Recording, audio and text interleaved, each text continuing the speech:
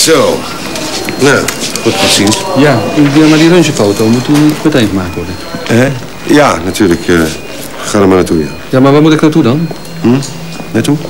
Voor die foto. Naar de röntgenafdeling, lijkt me.